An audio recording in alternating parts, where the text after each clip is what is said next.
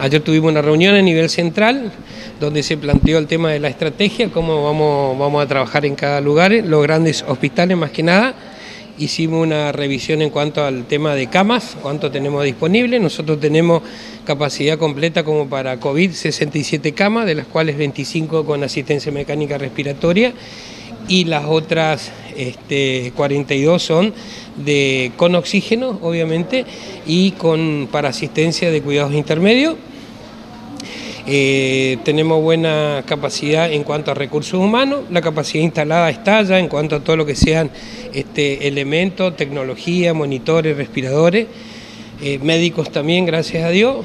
Eh, nos estábamos poniendo en contacto eh, una coordinación para el tratamiento que se va a emplear hoy por hoy en los pacientes que requieran internación, unificar un criterio en los grandes hospitales que atendemos COVID, como ser Perrando, este, Pediátrico, 4 de junio y Castelli, eh, el tema de la provisión de insumos, más que nada medidas de protección y otros, y otros este, medicamentos como son lo más este, complicado de conseguir por ahí, pero que hay que garantizar en una metodología que nosotros a último, a mediados de este año hemos, se ha implementado en la provincia, que son los sedativos para los pacientes con asistencia mecánica respiratoria. En este momento lo que nos causa preocupación es eh, que haya todavía ciudadanos chaqueños, más precisamente en Saspeña, que no se hayan vacunado.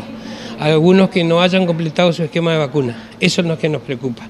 Nos preocupa la gente que viaja y cuando regresan nos toman las medidas de precaución y van a zonas donde están epidemiológicamente más, más, este, más eh, calientes que nosotros desde el punto de vista epidemiológico. Entonces eso es lo que nos preocupa a nosotros.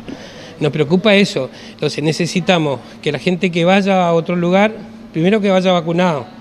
Segundo, si viene, que venga, este, haga ante cualquier síntoma que se hisope y se aísle. Así que esa es nuestra preocupación más que nada. La capacidad instalada en cama, en recursos humanos, se ajusta lo que es medicaciones e insumos, eso está garantizado.